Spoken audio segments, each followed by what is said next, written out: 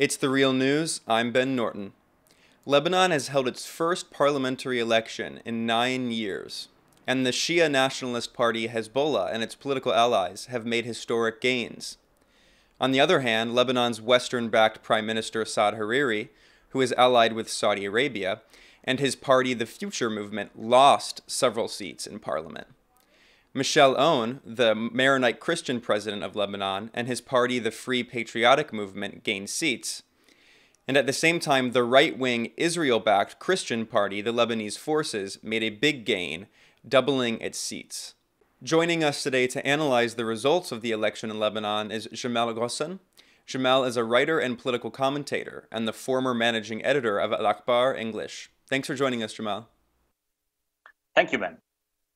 So, can you just react to this election? I mean, this is a historic parliamentary election, the first in nine years, and Hezbollah and its allies made very significant gains while Hariri lost seats. What do you think the significance of this, of this is?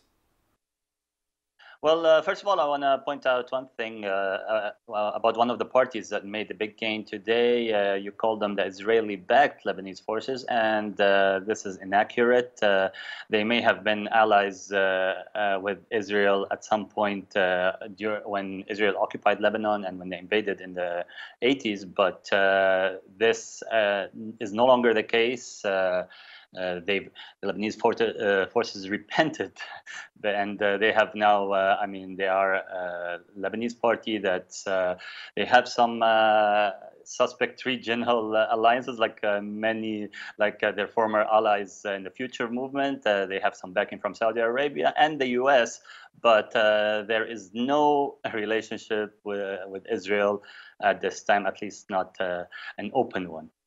Well, thank you for that uh, correction. Yes. Yeah, that, that's that's an important correction. Historically, they were allied with Israel, but not anymore. Uh, yes, and they did make uh, significant gains uh, today uh, in uh, today's results, yesterday's election, and mainly it is because of the election law that was for the first time used for the first time in Lebanon, which basically allowed smaller parties to take more control of uh, of the vote, and uh, it's uh, it's more a proportional uh, representation, and uh, this benefited uh, them as well as other Christian parties, which over the past 30 years have had their votes kind of overshadowed by uh, there, uh, are other parties who ha- uh, Muslim parties who had more of a control over the electoral districts and whatnot. because, but even with that, there um, the this election law has many flaws, including the way the districts are gerrymandered. there's there are many areas in if you look at um, the rich Beirut district of uh, what's called Beirut 1 it's a, a, a, vote of, or if you get uh, 6,000 votes, you would get into parliament, while in some of the poorer areas uh, in the periphery in Lebanon, you would need up to 20,000 votes to uh, break in. So a vote, a rich uh, uh, vote, a rich Christian vote in Beirut is worth as much as three or four uh, votes uh, of other citizens in other parts of the country.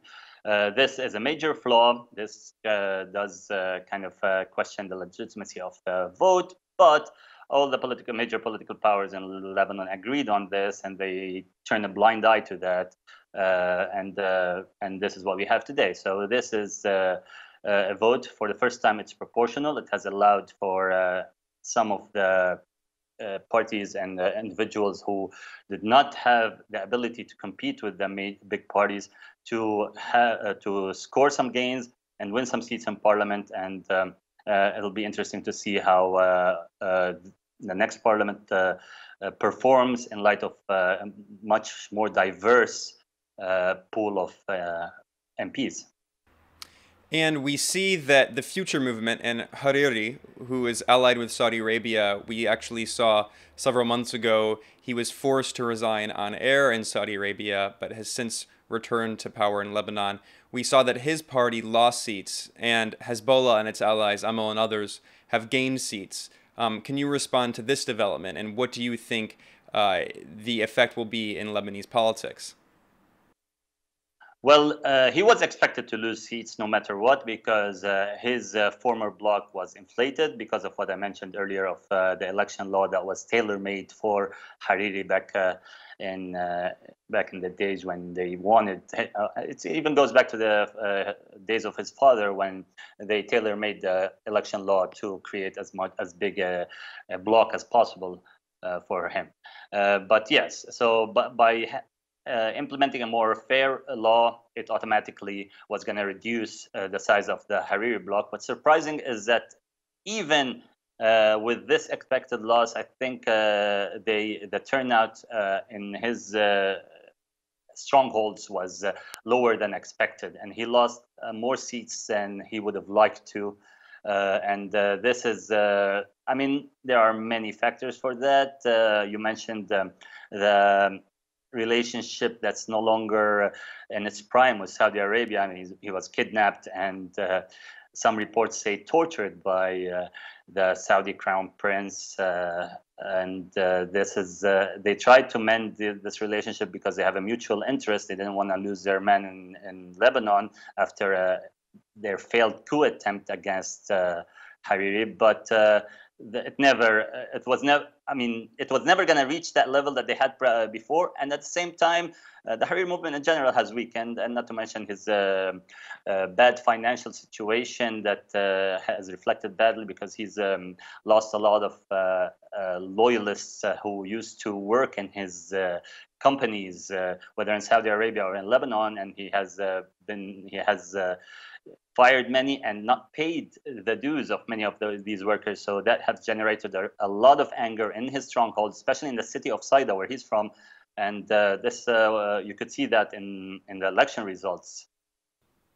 Yeah, and then what do you think of uh, Hezbollah and its allies gain significant numbers of seats? Uh, what what will the influence of that be in Lebanese politics? I mean, it will not change much in terms of uh, the politics because uh, they always kind of had a veto power. Uh, now they have officially the ability to veto or not to, uh, uh, uh, basically in, in parliament because Hezbollah and, his, and their allies have now over a third of the seats. they're direct allies. They have other allies that, like the FPM, which would put them well over have uh, the seats of parliament, but uh, right now they have an official veto power. Even though in Lebanese confessional system, if uh, if one of the major sects in Lebanon, here we're talking about the Sunnis, Shia, or the Christians, uh, decide to uh, oppose something, it is uh, mainly, I mean, it is considered a veto power, even though if it's not officially a veto power. So now it's official in terms of, of constitutional votes, but they always had that. So this is not going to change uh, anything. The only thing is uh, it changes. Um, I mean, there was a the rhetoric uh, coming into the elections, uh, especially since this is the first election in nine years, is that Hezbollah involvement in uh, regional wars, mainly in Syria, uh, has cost them dearly among their followers in Lebanon. This was uh, what the mass media that's controlled by Saudi Arabia and the Western media tried to portray over the years, over the past seven years of conflict. And they, they always try to show how uh, there is resistance to uh, Hezbollah and uh, their involvement in Syria. Uh, this vote can put an end to that. They've the people who uh, uh, were loyalists to Hezbollah seem to be uh, more than ever. And this basically will put an end to that, what was mainly a propaganda war to try to get at them. But this is, but in, in fact, in terms of um, uh, like I said, in terms of uh, legislation and whatnot, this does not change much.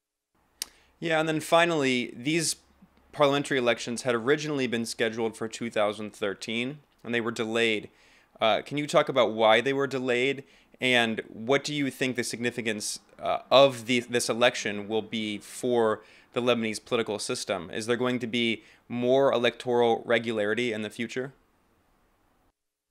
Well, I mean, uh, they delayed it because they didn't feel they need, they would be questioned, and uh, they were right. The political powers are still the same ones. They're still, you know, a slice uh, a slight change in uh, who has uh, what slice, but overall it's the same political players and um, they felt obliged right now to carry the elections just to maintain the act of having a state because uh, uh, by every other indication the lebanese state is a failing state uh, in terms of infrastructure. It's a, it's in very bad shape in terms of um, uh, the, its financial situation is not great. It's drowning in debt and uh, it's facing uh, difficulties coming in uh, and uh, paying off these debts. So there's a major major challenges for the state, uh, and uh, it, it, and they need any.